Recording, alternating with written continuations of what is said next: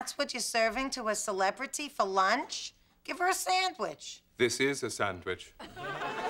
she has to eat everything through a straw. It's vile. Think Silence of the Lambs.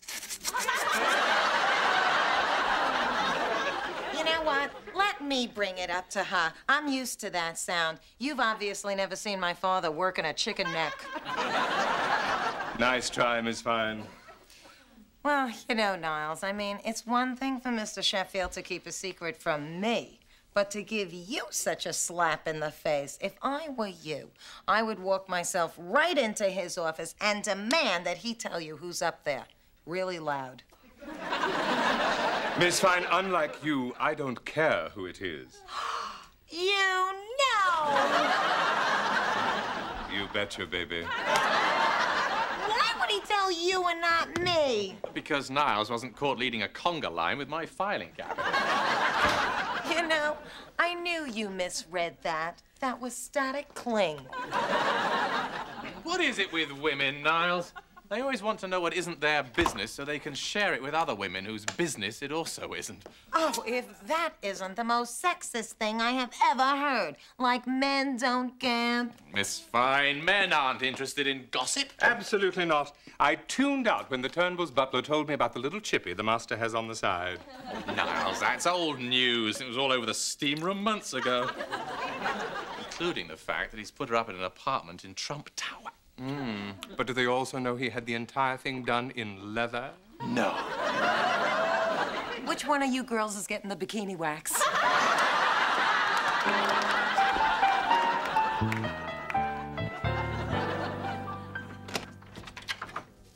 I'm sorry. I'm sorry. Did you call me? Good. You're sleeping. Lullaby and good night. You're too short to be Candice Bergen.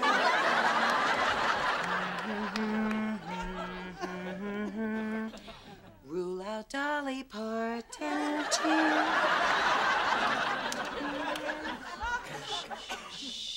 You know, you're very brave.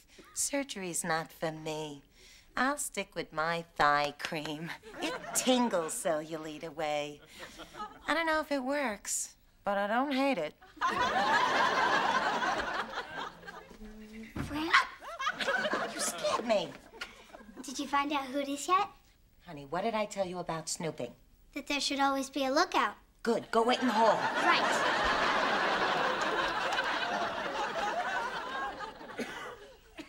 Let's take a look at your eyes. Mhm. Brown.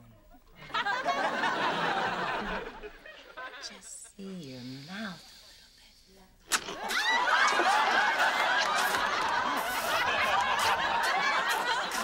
Not a straw. Oh, honey, what were you worried about your looks for?